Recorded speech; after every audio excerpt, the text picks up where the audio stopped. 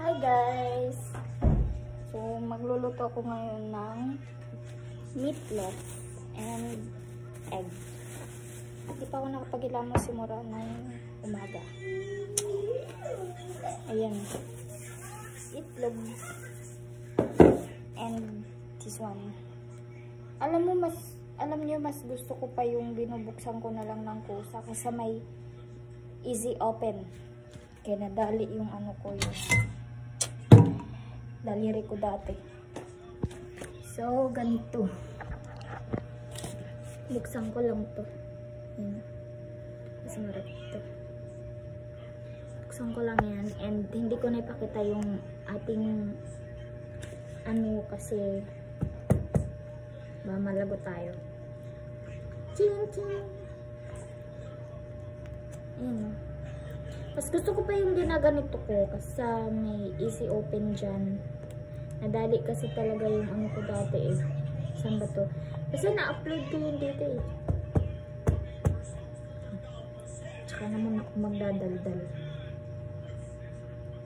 Buksan ko nga muna to. Ay!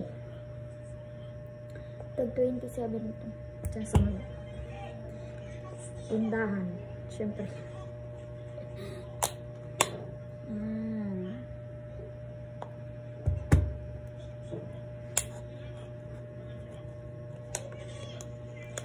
Ito lang yung ulam namin.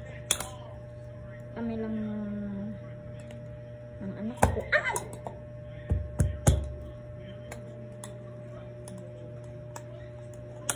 Ayan, bukas na siya, 'di ba? Ganyan. Tapos, ano yan ko yan dito? Tapos, hihipan ko yan.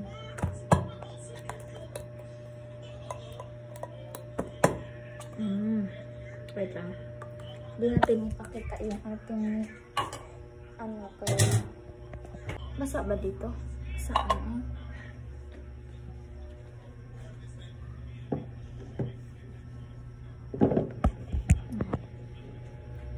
Tapos, ganyan. Ganyan. Ay!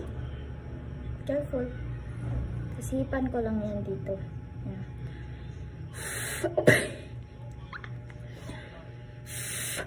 ano ba yan?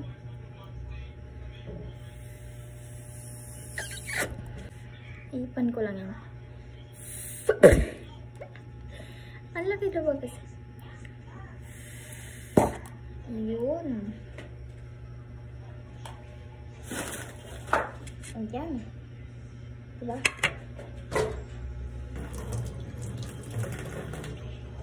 Ayan. Hiwain ko lang.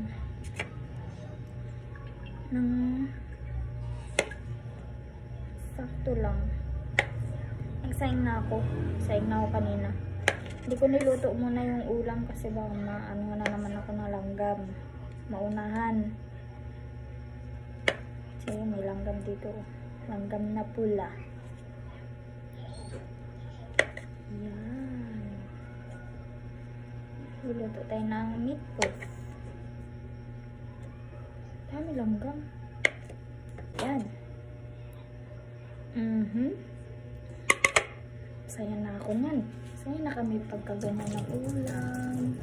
Itlog. Isang itlog lang.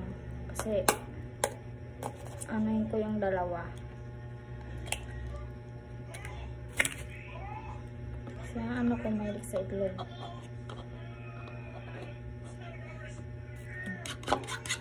Ano to?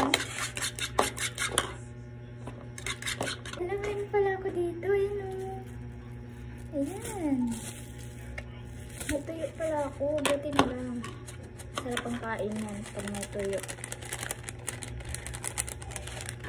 Sometimes, binili ang tag nito.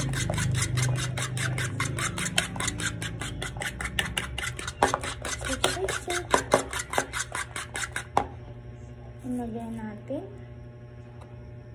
Yan. Nagde-demo. Kala di marunong magluluto ng ganito. Yan. Ito. Hmm, diba?